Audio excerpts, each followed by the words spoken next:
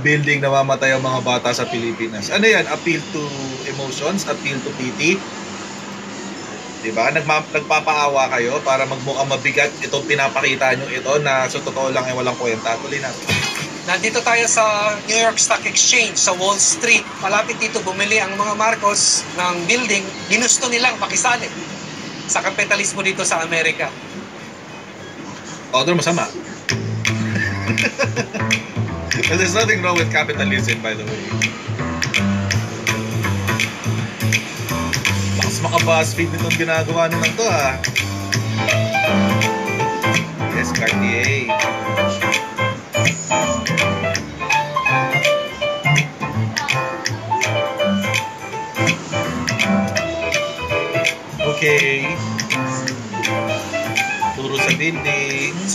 Tapos? itong St. Patrick's Cathedral, kilala ng mga Pilipino, at sa tapat niya yung 641 Fifth Avenue, nasa kanto ng Fifth Avenue and 53rd.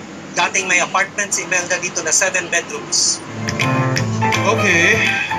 Tapos, Binili niya ito sa halagang 700,000 US dollars. Apartment yan, hindi buong building. Nangangahulugan na maluho sila na pamilya. Garbo lang at ah, yabang. Ah, pero ang gamit sa garbo at sa yabang, ninakaw lang ni Imelda. we... Pwede nga. Take note of the words ha, nakaw. Ninakaw daw, ninakaw. Four Sabihin krimen. Olympic Tower, kung saan dating merong seven-bedroom apartment si Imelda. Dito naman, three minutes away, Crown Building, kung saan binili rin ng mga Marcos itong building na ito nung panahon ng diktadura. Okay. Tapos, so what? Dito tayo ngayon sa kanto kung saan nandito yung Crown Building, 735th Avenue sa Manhattan. Binili ito ni Ferdinand Marcos kasama ang tatlo pang building noong 1981 para regalo kay Imelda Marcos. Nandito yung Bulgari Jewelry Store. Isang Okay. araw, July 1978, siguro malapit sa birthday niya, bumili si Imelda ng alahas dito. Ang total na binili niya, 1.4 million dollars. 1978, ang laking halaga na doon. Gamit ang nakaw na yaman galing sa mga Pilipino. 2 million dollars naman ang binili ni Imelda rito Okay. sa jewelry store na ito. Sa harap ng Nakaw ah, take note of the words, Dahil sa mga kanto rito, maraming jewelry store. Dito na rin nagsishopping si Imelda habang nakatira siya sa apartment niya sa kabilang kanto at saka dito sa building na ito na kinatatayuan natin.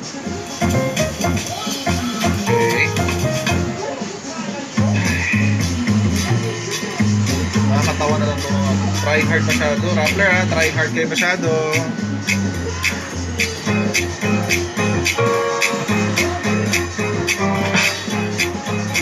Trying hard. Nandito tayo ngayon sa harap ng isang mall. Ang tawag sa mall na to Herald Center. Binili ng mga Marcos noong 1982 sa halagang 25 million dollars galing sa ninakaw na yaman. Nagkamali sila ng bili Yeah, dito dahil gusto nila high-end mall, mamahalin. Pero itong area na to, middle class na area. Nalugi ang mall, kala nila kikita sila ng mas malaki. Nalugi pa sila, nalugi ang mga Pilipino. Okay.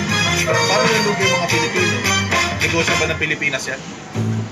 Sabi nyo, nakaw, di ba? So, hindi negosyo ng Pilipinas yan.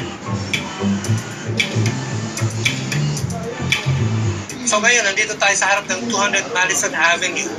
Itong building na ito, binili ni Imelda Marcos, ginamit si Glyceria Tantoco for 50 million dollars. Nabawi ito ng PCGG eventually, pero nung binenta ito, kailangan bayaran ng mga utang ni Imelda dahil hindi naman nagbayad sa inutang niya para bilhin ito. Ang building na ito, ang nabawi lang ng gobyerno in the end, 800,000 US dollars. Nakaw ha, gumamit ng dami. Gumamit daw ng dami yan. Tagpo ko daw. Sige. Tapos na yung tour natin pero hindi pa tapos ang pakikipaglaban laban sa mga Marcos. Huwag kalimutan na yung mga nakita niyong building, ilan lang yon sa mga ninakaw nila mula sa Pilipino. Ilan lang yon sa mga ninakaw nila gamit ang 10 milyong dolyares na ill-gotten wealth. Ngayong Pangulo na si Marcos Jr., huwag niyo siyang hayaan na burahin ang kasaysayan. Hindi talaga natin nahayaan burahin ang kasaysayan. Pero sige, tuloy natin. Okay.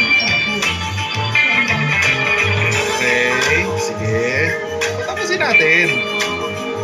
Okay. So, sige, wala problema. O, sinubukan daw kunin ng comment, etc. etc. Okay. Tangin tayo sa... Ay, ay, ay.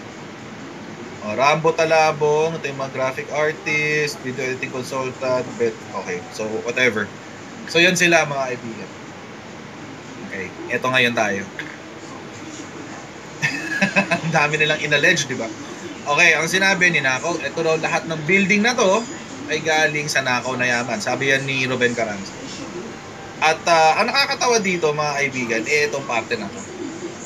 Sa hatol, twe- 2003, sinabi ng Korte Suprema na ang kayamanan ng mag-asawang Marcos noong pinangunahan nila ang pamahalaan ng pamahalaan ay hindi dapat lalampas sa 304,370 Sarah G!